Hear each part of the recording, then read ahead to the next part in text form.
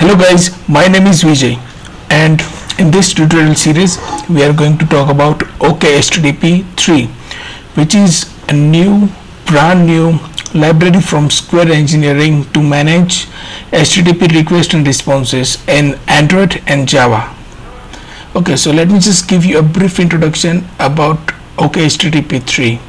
So OKHTTP 3 is an HTTP and HTTP 2 client for Android and Java applications created by really great engineers at Square and it's totally open source. So if you want to use it you can just you know download the jar file or you can you know just add it in inside of your Android applications or Java applications. It's totally up to you. It's the, the, the good news about OKHTTP is from Android 4.4 KitKat version OKHTTP is the default uh, client you know for managing http stacks inside of android applications. Yes. So uh, okay uh, let me just give you a brief introduction about what is http and what is http2 then only you can you know understand why OK HTTP is uh, OK HTTP 3 is uh, better you know than other libraries uh, which are out there in the market right now okay so http is you know the modern way uh, uh, we do the network programming right? Uh, rest apis and everything. So it's how we exchange the data in media. Doing http efficiently you know like makes your stuff load faster and saves a lot of bandwidth. Uh, well OKHTTP is a very efficient client you know uh, for managing HTTP uh, requests and response. Why? Because first of all OKHTTP supports HTTP 2.0 version okay?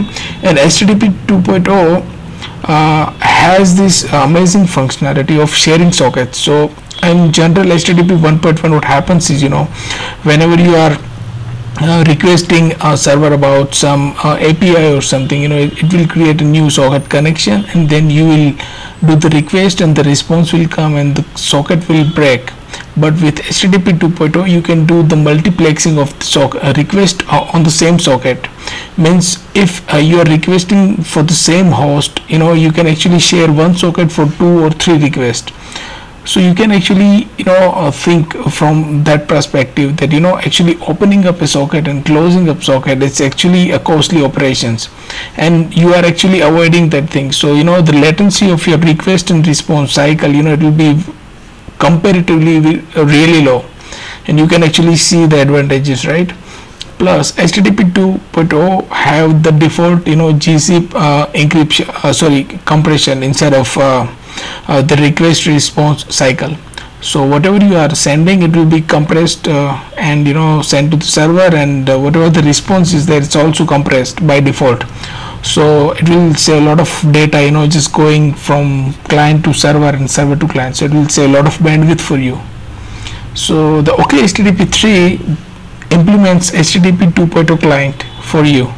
So all the advantages that I've just you know described you can get through OK HTTP 3 yes so what is happening right now is OK HTTP 3 you know in detail preserves when the network is in trouble. So for example if uh, you know your connection is going and coming and you know something like that. So the OK HTTP 3 will manage it for you.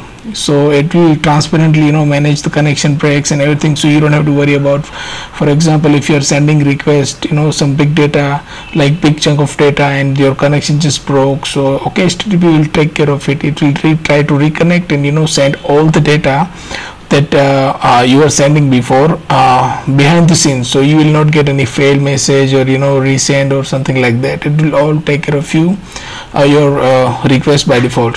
Yeah, that's the magic. So OK HTTP it's really easy you know. It's just request and response apis and all the request and response APIs are immutable. All the data are immutable by default. So you know there is no sharing going on. So there is no locking and everything. There so it's sort of fast and they have both kind of you know synchronous API as well as uh, async APIs with uh, callback functionality. So you can actually take advantage of everything. If you like to go for a async or sync you can uh, you know choose. Uh, I'll show you in the future tutorials. Well uh, let's talk about the support. So OK HTTP support android 2.3 and above. Before 2.3 i don't think you know you you might have the, those support but I don't think anybody is using Android 2.3 or below so it's comparatively it's, it's, it's okay to use it I guess. I think it's more than okay to use it you know.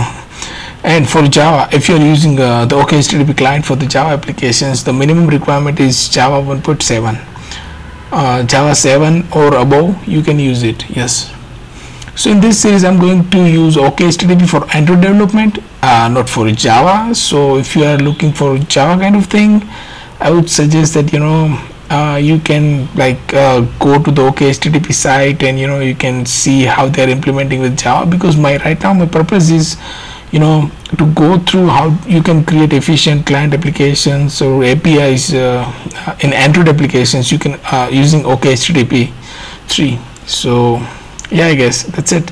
So in the next tutorial I'll, I'll just tell you you know that how to uh, install OKHTTP 3 inside of your existing applications and how to set up I guess. Okay. Thank you